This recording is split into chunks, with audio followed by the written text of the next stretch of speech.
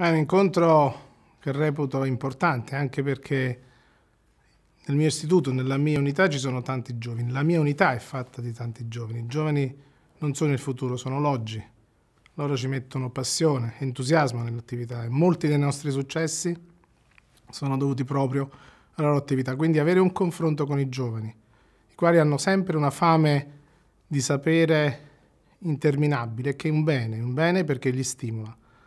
Oggi è stato importante perché ho cercato anche di spiegare cosa significa il lavoro del ricercatore, che è un lavoro che soprattutto per i giovani significa sacrificio, ma lì si possono mettere a frutto quelle che sono delle idee, perché le idee attraverso la passione, la determinazione poi dopo vengono sempre, eh, sono sempre ispirazioni di, di, di cose buone alla fine.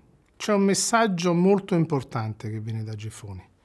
Tante manifestazioni hanno chiuso, non sono state effettuate, Giffoni non ha chiuso. Giffoni ha preferito rimanere aperta anche se lo ha pagato in termini di, di sacrifici, che voglio dire.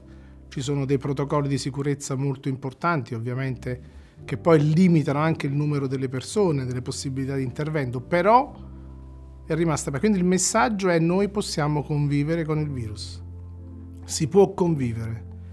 Si può convivere, si può continuare ad andare avanti facendo le cose che abbiamo fatto. Certo, c'è qualche sacrificio, però pazienza.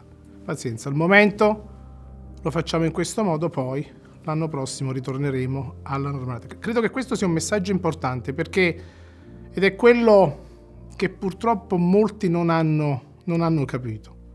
Noi abbiamo avuto delle riaperture graduali e abbiamo sempre avuto timore che ci potesse essere l'inizio della seconda ondata. Poi abbiamo visto che non è così. Dopo la riapertura del 3 giugno, tutto sommato, abbiamo visto che potevamo farcela. Certo, con sacrificio, mascherina, distanziamento fisico, igiene delle mani, ma sono state riaperte tante attività, quindi ci si può fare, lo possiamo fare.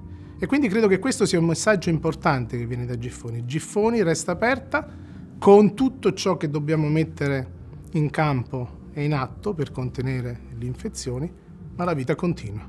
Conviviamo con il virus fin quando non avremo un vaccino o un trattamento che risolve il problema.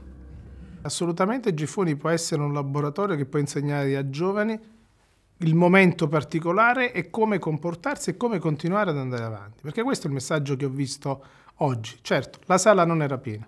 C'erano, diciamo, molti meno ragazzi rispetto alle edizioni passate, ma c'erano. Quei ragazzi c'erano. Quei ragazzi erano tutti con la mascherina, ma quei ragazzi avevano, nonostante la mascherina, la stessa voglia di conoscere, di sapere e di chiedere.